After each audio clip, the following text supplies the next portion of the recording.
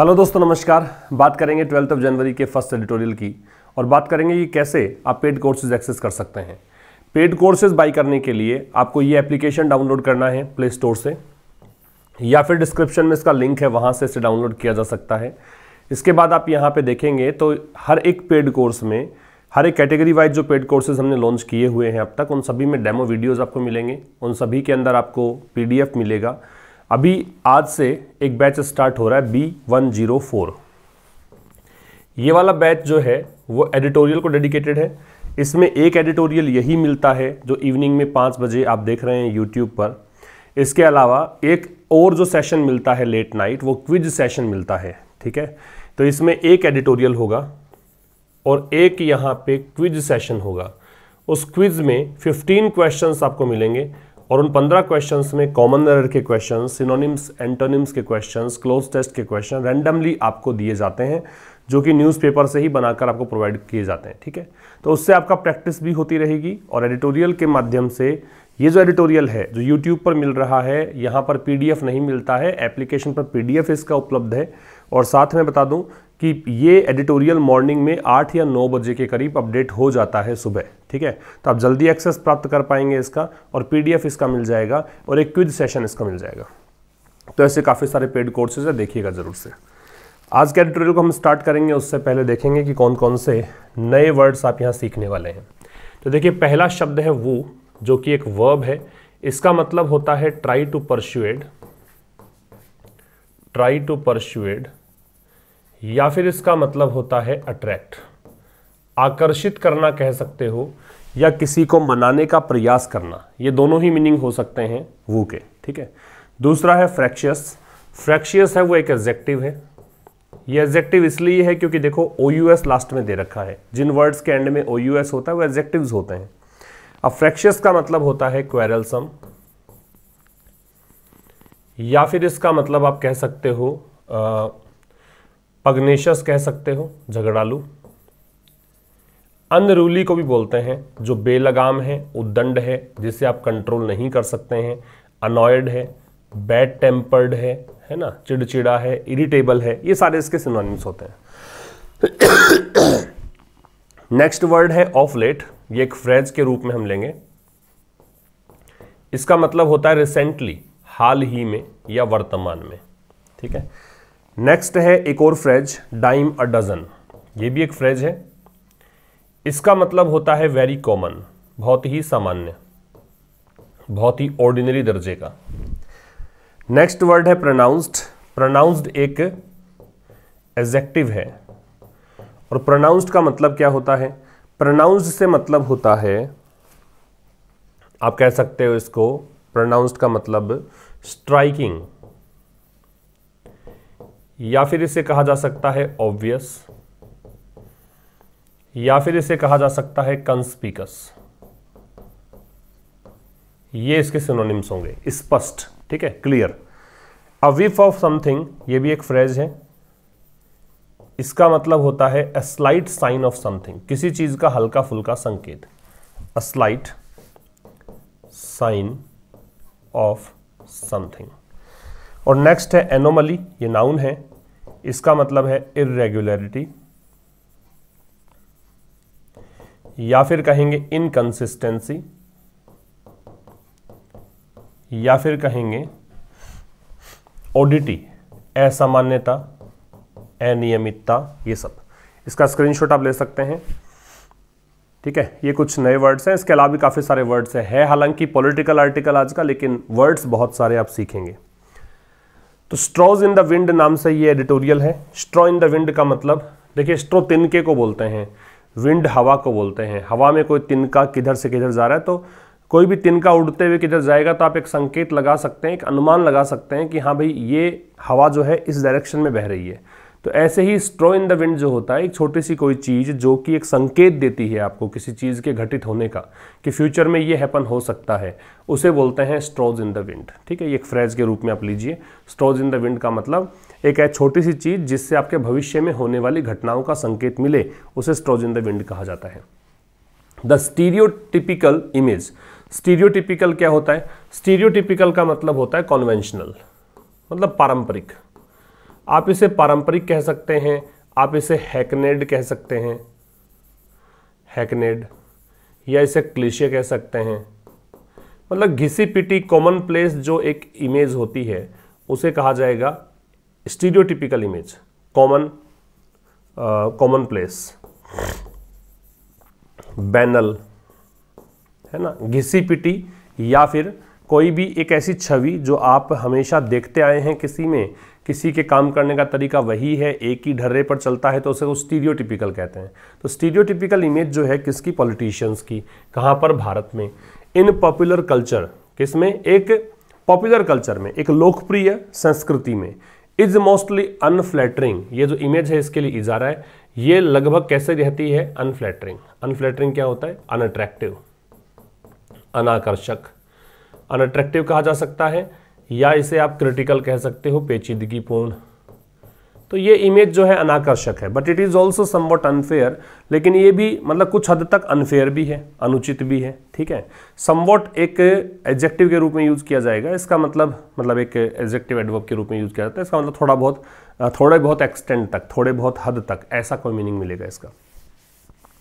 तो stereotypical image जो है पॉलिटिशियंस की भारत में, एक पॉपुलर कल्चर में, वो लगभग अनफ्लैटरिंग रहती है अनअट्रैक्टिव रहती है, लेकिन ये कुछ हद तक अनफेयर भी रहती है। ये अनुचित भी है, ठीक है? एक्चुअल में बात करना चाहता है लेखक यहाँ पे कि किस प्रकार से चुनाव के टाइम पे कैसे पार्टी मैन जो हैं वो डेफेक्टर्स बन जाते हैं, कैसे वो पार्टीज़ को छोड़ दूसरी पार्टी में चले जाते हैं। कैसे लोग जो इलेक्टोरेट्स हैं इलेक्टोरेट हैं, वो कैसे मतलब वोट दूसरों को देखकर दूसरे को सत्ता में ले आते हैं तो ये सब चर्चाएँ हम पॉलिटिक्स का जो नेचर है उसकी हम चर्चा करेंगे। कहने को पॉलिटिकल आर्टिकल लेकिन वर्ड्स बहुत सारे आपको सीखने को मिलेंगे। Politics as a vocation vocation का मतलब प्रोफेशन होता है जॉब होता है ऑक्यूपेशन होता है, व्यवसाय होता है, ठीक है? तो पॉलिटिक्स एक व्यवसाय के रूप में, अब इसकी वर्ब है इज़ पॉलिटिक्स साथ में वर्ब सिंगुलर आती है। Is not an easy one तो अगर वोकेशन के रूप में कोई पॉलिटिक्स को अपनाए, कोई प्रोफेशन के रूप में पॉलिटिक्स को अपनाए तो ये कोई आसान चीज़ नहीं है। And no one receives no one की वर्ब रिसीव्स है। और कोई भी जो है मोर स्क्रूटिनी किसी की भी जाँच पड़ताल इतनी नहीं होती है। स्क्रूटिनी का मतलब इंस्पेक्शन होता है। इंस्पेक्शन इसका मतलब परयूजल होता है। परयूजल ठीक है।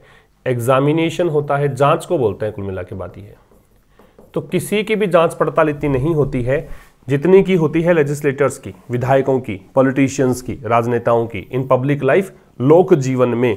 And despite there being despite there being several things अब देखो, होने को तो यहाँ पे सेवरल थिंग्स तो आ रहना चाहिए था। लेकिन चूँकि डेस्पाइट प्रेपोजिशन लग गया तो प्रेपोजिशन अपने बाद में आईएनजी फॉर्म लेता है, इस कारण से यहाँ पे बींग लगाना पड़ा। ठीक है? इसलिए यहाँ पे बी का आईएनजी फॉर्म बींग लगाना पड़ा। तो despite there being several things to improve upon और इस चीज़ के बावजूद कि बहुत सारी चीज़ें हैं जिस पे सुधार किया जा सकता है। इम्प्रूव अपॉन का मतलब कुछ अच्छा करना, कुछ बेहतर करने का प्रयास किया जा सकता है। इलेक्टोरल डेमोक्रेसी चुनावी राजनीति जो है इन इंडिया, भारत में अलाउज फॉर ये इसकी वर्ब है। A fair amount of accountability क्या यहाँ पे अलाउ करती है? फेयर अमाउंट ऑफ़ अकाउंटेबिलिटी मतलब एक अच्छी खासी मात्रा में फेयर अमाउंट जहाँ पे है, यहाँ पर इसका मतलब है एक नपीतुली मात्रा बैलेंस्ड अमाउंट किस चीज़ का? अकाउंटेबिलिटी का जवाबदेही का। बाई एम्पावरिंग कैसे? एम्पावर करके पावर देकर किसको? वोटर को। किस लिए? To evaluate those contesting to represent them कि वो वोटर जो हैं वो इवेल्युएट करें। इवेल्युएट मतलब जाँच करना होता है। उन आ, लोगों की कंटेस्टिंग जो कि लड़ रहे हैं प्रतिस्पर्धा कर रहे हैं टू रिप्रेजेंट देम उनका प्रतिनिधित्व करने के लिए। मतलब चुनाव में खड़े हो रहे हैं। बात सीधी सी है फिर समझना। पॉलिटिक्स की वर्ब है, वो इज़ है, नो वन की वर्ब रिसीव्स है, डेमोक्रेसी इलेक्ट्रो डेमोक्रेसी की वर्ब अलाउज है, ये तो कुछ सब्जेक्ट वर्ब थे, स्क्रूटनी का मतलब जाँच होती है, डेस्पाइट एक प्रेपोजिशन है, डेस्पाइट के बाद में कभी भी ऑफ़ नहीं लगाना है, याद रखना है। जनरली एग्ज़ाम में जो क्वेश्चन डेस्पाइट का आता है वो यही प्रश्न आता है कि डेस्पाइट में ऑफ़ दे के प्रश्न पूछा जाएगा, गलत हो जाएगा। तो पॉलिटिक्स जो है वोकेशन के रूप में वो आसान नहीं है और कोई भी जो है उसकी अधिक जाँच नहीं होती है किसकी तुलना में। अगर विधायकों राजनेताओं की बात करें तो पब्लिक लाइफ में सबसे ज़्यादा स्क्रूटनी से इनको गुजरना पड़ता है। और कह रहा बहुत सारी चीज़ें सुधार करने योग्य हैं, उसके बावजूद भी, ठीक है? इलेक्ट्रल डेमोक्रेसी जो भारत में है, वो फेयर अमाउंट ऑफ़ अकाउंटेबिलिटी तय करती है। कैसे? वोटर को अकाउंटेबिलिटी देती है। भारत की राजनीति जो है वोटर को एक एम्पावरमेंट देती है मतलब ताकत देती है पावर देती है। किसका? कि वो उन लोगों का जो चुनाव में खड़े हो रहे हैं, उनका प्रतिनिधित्व करने के लिए उनको इवेल्युएट कर सकते हैं। इवेल्युएट का मतलब होता है असेस करना, मूल्यांकन करना, ठीक है? इससे आगे देखिए। यट फिर भी यट एक कॉन्ट्राडिक्टरी स्टेटमेंट डिनोट करने के लिए कंजंक्शन के रूप में आता है। फिर भी if there is one act यदि कोई ऐसी चीज़ है दैट रिमाइंड्स दैट यहाँ पे इस एक्ट के लिए आ रहा है तो फिर इसकी वर्ब जो है, वो रिमाइंड्स है। फिर भी यदि कोई ऐसी चीज़ है that remind citizens of the tendencies जो कि सिटीजन्स को पॉलिटिशियंस की टेंडेंसीज को रिमाइंड करवाता है। रिमाइंड का मतलब होता है याद दिलाना, ठीक है?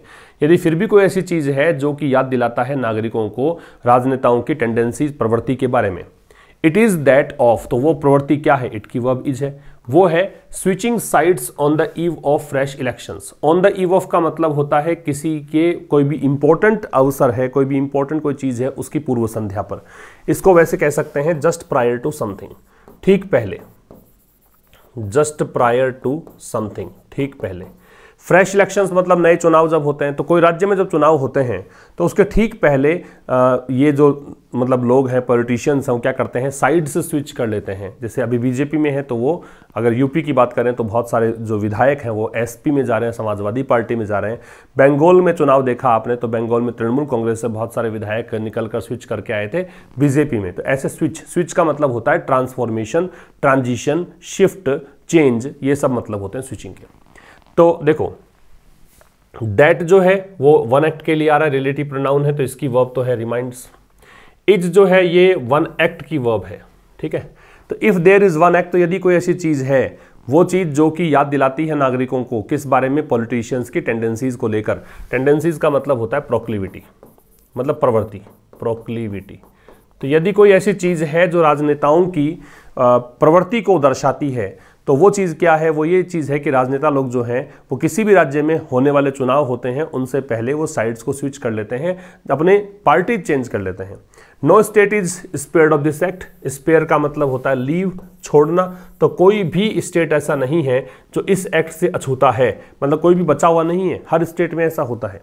एंड हार्डली एनी पार्टी और मुश्किल से ही कोई पार्टी होती है एस्केप्स डेफेक्शंस जो कि डेफेक्शन से बचती है। डेफेक्शन का मतलब क्या होता है? डेफेक्शन का मतलब दल त्याग होता है, ठीक है?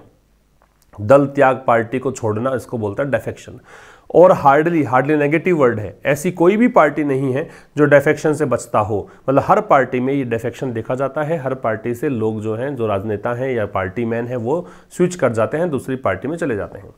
इन ए वर्ड एक ऐसी दुनिया में। देखो, वर्ड के पहले वैसे द लगता है, लेकिन आप कोई खास प्रकार के वर्ड की बात कर रहे हो, एक अलग दुनिया की बात कर रहे हो तो उसमें ए लगा सकते हैं। तो इन ए वर्ड एक ऐसी दुनिया, अब दुनिया कौन सी, वो बताया है आगे। Where principles and ideologies determine party affiliation affiliation का मतलब होता है कनेक्शन या फिर रिलेशन संबंध को बोलते हैं कनेक्शन को बोलते हैं। तो कह रहा है कि एक ऐसी दुनिया जहाँ पर सिद्धांत और विचारधारा तय करती है पार्टी की संबद्धता को कि किस पार्टी से जुड़ना है, वो एक डिपेंड करेगा कि पार्टी की विचारधारा क्या है। अगर आपकी विचारधारा और पार्टी की विचारधारा मेल मेल खाती हो तो दोनों आप मिल जाते हैं, ठीक है?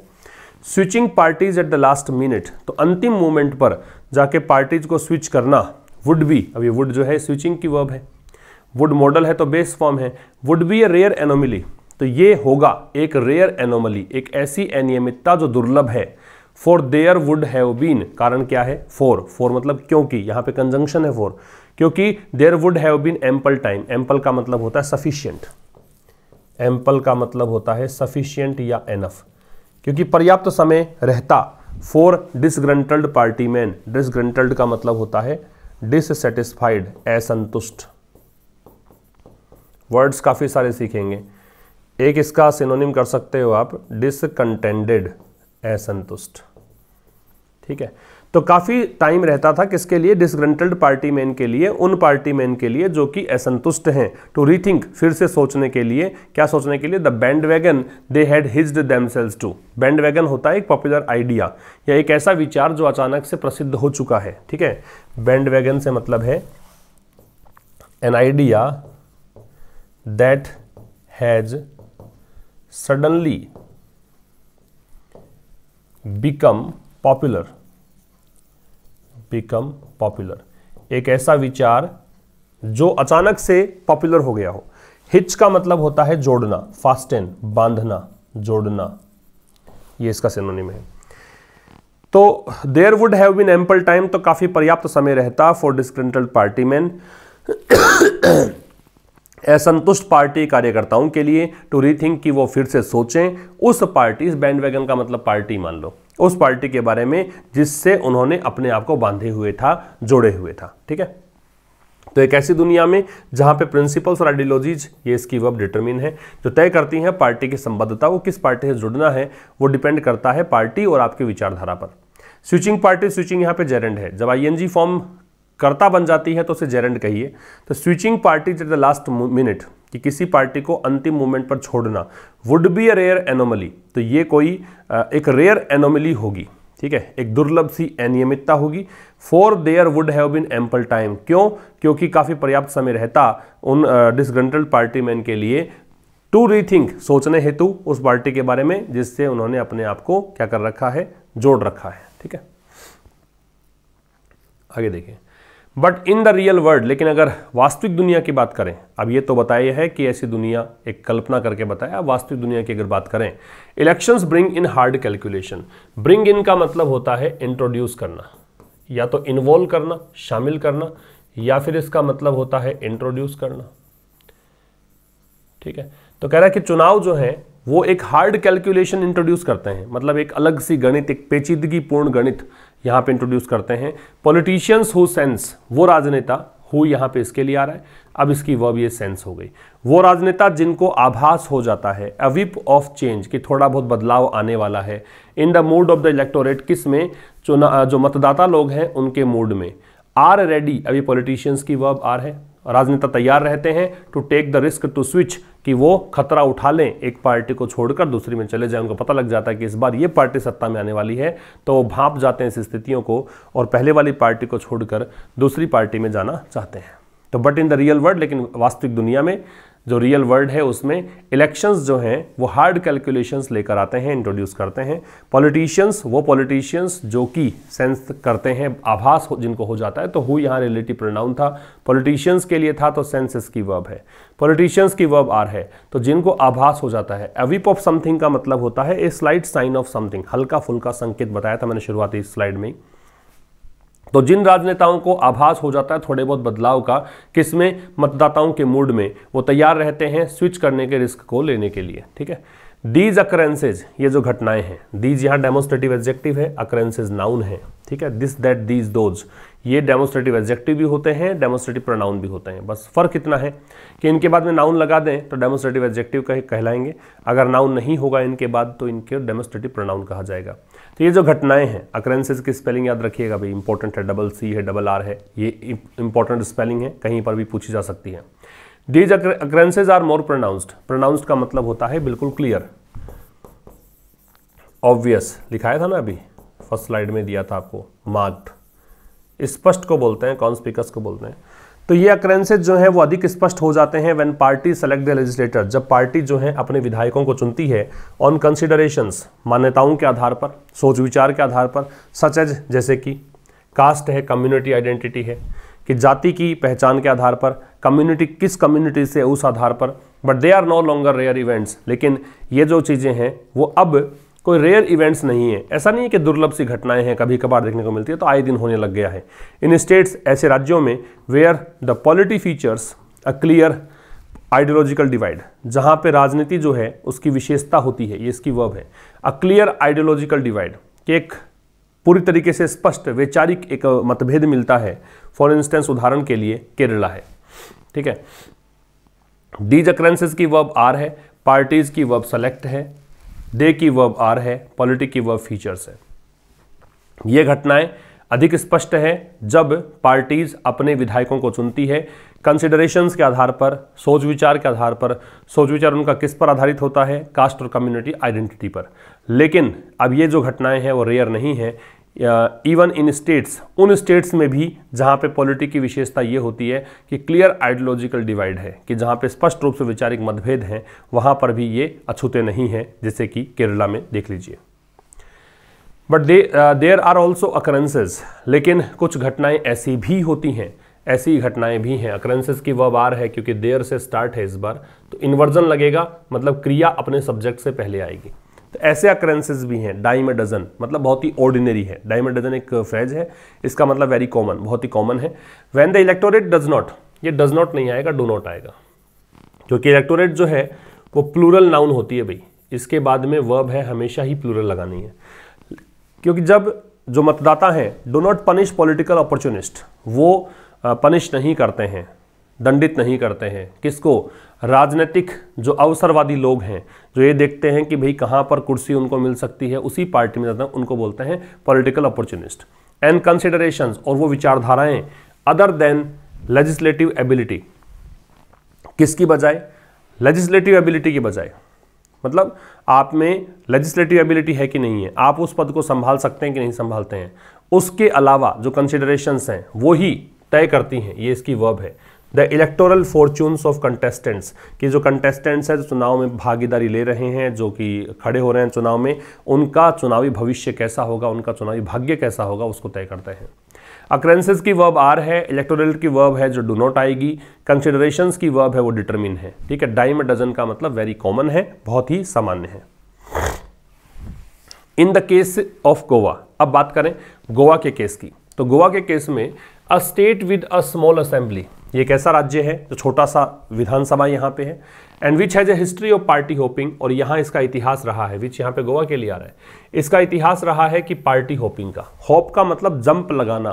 जैसे मेंढक फुदकता है, एक जगह से दूसरी जगह पे वैसे ही विधायक लोग या पार्टी के जो लोग हैं, वो अपॉर्चुनिस्ट होते हैं, किसी एक पार्टी में दाल उनकी नहीं गल रही, दूसरी पार्टी में वो होप कर जाते हैं, इसलिए डेफेक्टर्स को कह सकते हो, दल बदलू कह सकते हो टर्न कोट कह सकते हो। एक वर्ड होता है टर्न कोट ये दल बदलू होता है। एक वर्ड होता है डेफेक्टर ये दल बदलू होता है। ठीक है? तो गोवा के केस में एक स्टेट जो कि छोटी सी विधानसभा यहाँ पे है और जिसका इतिहास रहा है, पार्टी होपिंग का, दल बदलुओं का द स्पर्ट स्पर्ट का मतलब अचानक से वृद्धि सर्ज या इरप्शन तो अचानक से जो वृद्धि है, किसकी? दल बदलने वाली घटनाओं की। ऑफ़ लेट मतलब हाल ही में। Should not come as a surprise उसको आप आश्चर्य के रूप में ना लें। इसको अचंबित होने वाली बात नहीं है, ये तो होता आया है, ठीक है? But the fact that electoral contestation in an already fractious politics polity fractious का मतलब है झगड़ालू, बताया था अभी आपको। लेकिन ये जो फैक्ट है, क्या फैक्ट कि इलेक्टोरल कंटेस्टेशन जो चुनाव प्रतिस्पर्धा है in an already fractious polity पहले से ही जो राजनीति फ्रैक्चर्स है, झगड़े जहाँ पे होते आए हैं, जो बेलगाम है, कंट्रोल करना इसको मुश्किल है। With high number of competitive political parties और इसमें क्या होता है राजनीति में कि बहुत बड़ी संख्या में प्रतिस्पर्धात्मक राजनीतिक पार्टियाँ होती हैं। तो ये जो फैक्ट है, ये देखो है जिसके लिए है। हैज़ नाउ इंक्रीज्ड अब ये बढ़ चुका है। With the Trinamool Congress and the Aam Aadmi Party in the फ्रे फ्रे का मतलब दंगल है। कंपटीशन का जो एरेना होता है ना एरेना को बोल सकते हो बैटलफील्ड को कह सकते हो। तो इस दंगल में अब चूँकि तृणमूल कांग्रेस भी कूद चुकी है, आम आदमी पार्टी भी आ चुकी है तो अब की बार इन पार्टीज़ की संख्या भी बढ़ चुकी है, ठीक है? फिर समझिएगा कि भाई, लेकिन ये जो फैक्ट है, कौन सा फैक्ट कि इलेक्ट्रोनल कंटेस्टेशन जो है, जो चुनावी प्रतिस्पर्धा है, पहले से ही फ्रैक्शियस पॉलिटी में, जिसमें बहुत बड़ी संख्या में कंपिटेटिव पॉलिटिकल पार्टीज़ है has increased with the Trinamool Congress. ठीक है? अब ये इंक्रीज हो चुकी है तृणमूल कांग्रेस और आम आदमी पार्टी के आने से। राजनीतिक पार्टियों के नाम से पहले दय लगेगा भाई। यहाँ तृणमूल कांग्रेस के पहले दय है, यहाँ आम आदमी पार्टी के नाम से पहले दय है। ठीक है? हैज़ एग्जासरबेटेड मैटर्स अब ये तो फैक्ट की वर्ब ये हैज़ नहीं है यहाँ पे। ये फैक्ट की वर्ब ये है। ठीक है? ये वर्ब है इसकी। और ये हैज़ जो है, ये आ रहा है high number of political political parties ये नंबर के लिए आ रहा है कि इसकी संख्या बढ़ चुकी है। ठीक है? इलेक्ट्रोल कंटेस्टेशन बढ़ चुका है सॉरी ये इसकी वर्ब है, ठीक है? तो कह रहा है कि भाई, ये जो फैक्ट है फैक्ट अब ये हैज़ एग्जासरबेटेड इसने एग्जासरबेट कर दिया मैटर को। एग्जासरबेट क्या होता है? इसका मतलब वर्सन करना होता है, बदतर बनाना होता है। वर्सन एग्रावेट मतलब कोई भी स्थिति खराब है पहले से, उसको और अधिक खराब कर दें तो उसको बोलते हैं एग्जासरबेट करना, ठीक है? तो ये फैक्ट की वर्ब तो ये है इलेक्ट्रोल कंटेस्टेशन की वर्ब ये है, ठीक है? तो कह रहा है कि फैक्ट जो है कि इलेक्टोरल कंटेस्टेशन बढ़ चुका है क्योंकि ये दो पार्टियाँ और अब दंगल में कूद चुकी है। तो ये फैक्ट ने क्या कर दिया है? इन मामलों को और अधिक खराब कर दिया है। कैसे? By widening the choices for the political opportunist कि अब पॉलिटिकल अपॉर्चुनिस्ट जो हैं, जो राजनीतिक अवसरवादी लोग हैं, उनके पास अब चॉइसेस जो हैं बढ़ गई हैं वाइडन हो चुकी हैं। ठीक है? इन उत्तर प्रदेश, ये गोवा की बात की, अभी विधानसभा चुनाव जो है पाँच राज्यों के, उनकी बात ये कर रहा है। अब बात करें उत्तर प्रदेश की। Even considering the fact that such defection are routine ये मानते हुए भी, ये सोचते हुए भी कि ऐसे जो डेफेक्शंस हैं, ऐसे दल बदलने वाले जो कार्य हैं, वो रूटीन के कार्य हैं। The spurt of M L A switching sides from the Bharatiya Janata party to the Samajwadi party should worry the ruling party इस स्थिति में भी ये जो स्पर्ट हुआ है अचानक से बढ़ोतरी जो हुई है इरप्शन हुआ है सर्ज हुआ है एमएलएज का साइड स्विच करने का कि भारतीय जनता पार्टी से एमएलए निकलकर समाजवादी पार्टी में जा रहे हैं तो ये जो चीज़ है, ये शायद शुड यहाँ संभावना बता रहा है, शायद ये चिंतित करे किसको रूलिंग पार्टी को। रूलिंग पार्टी कौन है? उत्तर प्रदेश में बीजेपी है, ठीक है? मोर सो अधिक इसलिए भी है क्योंकि the party hoppers are from the other backward classes कि जो पार्टी होपर्स है पार्टी होपर्स का मतलब क्या हो गया? जो दल बदलू, जो लोग हैं डिफेक्टर्स हैं, वो ओबीसी से है। अब ये ओबीसी के बारे में दे रखा है who had been diligently wooed और ओबीसी के जो लोग हैं, उनको बड़ी मेहनत से डिलीजेंटली मतलब बहुत ही हार्ड वर्किंग तरीके से, बड़े इंडस्ट्रियस तरीके से, बड़े मेहनत तरीके से वुड आकर्षित किया गया, मनाया गया। And represented in the BJP और इनको रिप्रेजेंट किया गया बीजेपी में to get an edge over the Mandal parties की मंडल पार्टीज़ पर गेट एन एज का मतलब थोड़ी सी बढ़त इनको मिले, थोड़ा सा इनको एक्स्ट्रा एडवांटेज मिले इसके लिए, ठीक है? तो देखो, उत्तर प्रदेश में यहाँ तक कि इवन जो है इम्फेटिक एग्जेक्टिव इम्फेटिक होता है, ये एडवर्ब होता है, और भी का अर्थ देगा। तो ये भी कंसीडर कर लिया जाए कि ऐसे डेफेक्शन सच के बाद में जब नाउन लगता है, अगर काउंटेबल है तो या तो प्लूरल लगाते हैं, अगर काउंटेबल है और सिंगुलर लगाया तो ए और एन उससे पहले लगाते हैं, ठीक है? तो उत्तर प्रदेश में यहाँ तक कि अगर फैक्ट कंसीडर कर लिया जाए कि ऐसे डेफेक्शन जो है रूटीन है तो जो स्पर्ट है एम का साइड स्विच करने का कि भारतीय जनता पार्टी से छोड़ के पार्टी, समाजवादी पार्टी में जा रहे हैं तो इससे जो सत्ताधारी पार्टी है, उसको चिंता तो होगी ही। और अधिक इसलिए भी चिंता होगी क्योंकि पार्टी होपर्स जो हैं, वो ओबीसी से हैं। ओबीसी को तो काफ़ी ज़्यादा मतलब ललचाया गया था, काफ़ी ज़्यादा आकर्षित करने की कोशिश की गई थी परसुएड करने की कोशिश की गई थी और इनको रिप्रेजेंटेशन मिला था बीजेपी में ताकि मंडल पार्टीज़ पर इनको बढ़त मिले इसलिए। The BJP could still take consolation BJP अभी भी कुड है, वो एक प्रेजेंट पॉसिबिलिटी बताने के लिए आता है। तो बीजेपी हो सकता है कि अभी भी सांत्वना दे अपने आप को। सांत्वना कॉन्सोलेशन सांत्वना को बोलते हैं सोलेस को कह सकते हो। इन द फैक्ट इस फैक्ट में दैट लास्ट मिनट डेफेक्शन की अंतिम क्षण पर होने वाले दल बदल जो हैं in West Bengal West Bengal में हैड लिटिल इफ़ेक्ट देखो लिटिल लग रहा है, इसका मतलब नो है। नेगेटिव के मीनिंग में आएगा ये। लिटिल के पहले कोई भी अगर आर्टिकल नहीं है तो इसे नो लिखकर आप लिख सकते हो। तो इसका कोई प्रभाव नहीं पड़ा था किस पर? जो सत्ताधारी पार्टी वहाँ पे थी, तृणमूल कांग्रेस, उस पर in the election last year पिछले साल चुनाव हुए थे उसमें। बीजेपी अब ये फैक्ट जो है कि बीजेपी से अगर पूछा जाए कि भी तुम्हारे विधायक जा रहे हैं समाजवादी पार्टी में तो बीजेपी अपने आप को सांत्वना दे सकती है इस बात से कि भी हमारे पास भी तृणमूल कांग्रेस से विधायक आए थे, पिछली बार वेस्ट बंगाल चुनाव था तब, लेकिन प्रभाव उसका कुछ पड़ा नहीं था, ठीक है? But unlike in the eastern states unlike का मतलब होता है के विपरीत, ठीक है? लाइक का अपोजिट है ये प्रेपोजिशन है।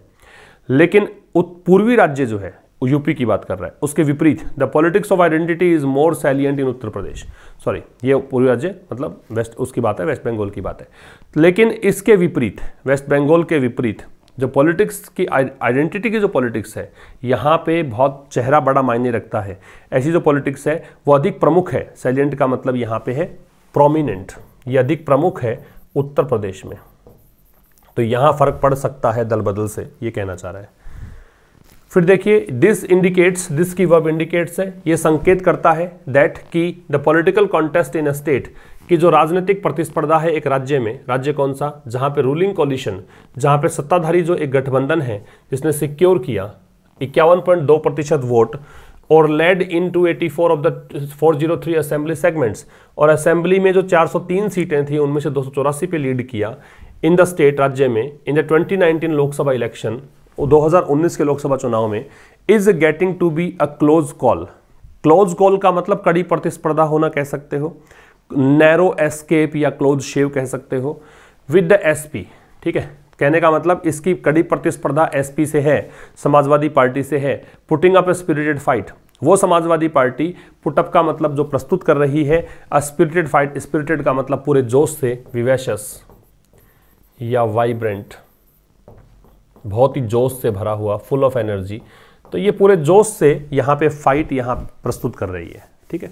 तो ये इंडिकेट करता है कि पॉलिटिकल कॉन्टेस्ट जो है स्टेट में, जहाँ पर रूलिंग कॉलिशन ने 51.2 परसेंट सिक्योर किया वोट्स का और 403 असेंबली सेगमेंट्स में 284 पर लीड किया स्टेट में 2019 के लोकसभा चुनाव में, वो यहाँ पे क्लोज कॉल इसको मिल रहा है मतलब कड़ी प्रतिस्पर्धा मिल रही है समाजवादी पार्टी से, जो कि एक स्पिरिटेड फाइट प्रस्तुत कर रही है। एक पूरे जोश से, पूरे जोश उत्साह के साथ ये लड़ेगी इस बार। एट द वेरी लीस्ट मतलब कम से कम द ओरा ओरा का मतलब होता है कैरेक्टर या फीचर ऑफ़ समवन किसी का एक विशेषता कह सकते हो। तो जो ओरा है इन्विंसिबिलिटी का इन्विंसिबिलिटी मतलब अजय रहना, कभी भी हारना नहीं, ठीक है? इसको इन्विंसिबिलिटी बोलते हैं। तो कम से कम ये जो ओरा है इन्विंसिबिलिटी का, जो बीजेपी का रहा है सिंस 2014 के 2014 से बीजेपी जो है, हारी नहीं है। ये जो ओरा है, ये जो विशेषता है बीजेपी की जो कैरेक्टर है, ये जो फीचर है इज़ मार्गडली एबसेंट ये स्पष्ट रूप से अब की बार अनुपस्थित सा नज़र आ रहा है, वो ओरा दिख नहीं रहा है। मार्गडली का मतलब है स्पष्ट रूप से ऑब्वियसली ऑल दो यद्यपि the opposition camp is still divided यद्यपि जो विरोधी खेमा है, वो अभी भी डिवाइडेड है, अभी भी बटा हुआ है। स्टिल है, वो एडवर्ब है। इसका मतलब होता है इवन नाउ तो विपक्षी खेमा अभी भी बटा हुआ है। The erosion in the BJP support तो बीजेपी सपोर्ट बेस में जो इरोजन है इरोजन का मतलब जो क्षय हुआ है, जो कमज़ोरी आई है वीकेनिंग हुई है डिबिलिटेटिंग हुई है इरोजन उसको बोलते हैं। देखो, ये बनता है इरोड से। इरोड वर्ब है इरोजन नाउन है। तो इरोड के सिनोनिम हम करते हैं वीकन या डिबिलिटेट, कमज़ोर कर देना। ठीक है ना? तो ये उसी से बना हुआ है। तो विपक्ष, जो बीजेपी सपोर्ट बेस में जो कमी आई है इज़ अनमिस्टेकेबल अनमिस्टेकेबल का मतलब इस बात में कोई भ्रम नहीं है। बिल्कुल साफ़ साफ़ रिकॉग्नाइज किया जा सकता है। If something is clearly recognizable तो इसका मतलब है कि वो अनमिस्टेकेबल है। जिसे आसानी से आप रिकग्नाइज कर सकते हो, वो अनमिस्टेकेबल है। कोई भ्रम की बात नहीं। स्पष्ट दिख रहा है कि वो और दिख नहीं रहा है। बीजेपी का सपोर्ट बेस कम हो रहा है, ये कहना चाहता है। और आप देखें कि ओल्दो से स्टार्ट है तो दो क्लोज हैं। एक ऑल्दो से लेकर डिवाइडेड तक है, दूसरा दे से लेकर अनमिस्टेकेबल तक है। और दूसरा जो क्लोज है, उसको जोड़ने से पहले कोमा लगा रखा है। तो ऑल्दो या दो से जब सेंटेंस होता है ना तो या तो यट लगता है, या स्टिल लगता है, या कोमा से भी काम चला सकते हो। तो ये था दोस्तों आज के इस एडिटोरियल में। अब मिलेंगे कल ठीक शाम पाँच बजे, तब तक के लिए नमस्कार। Thanks a lot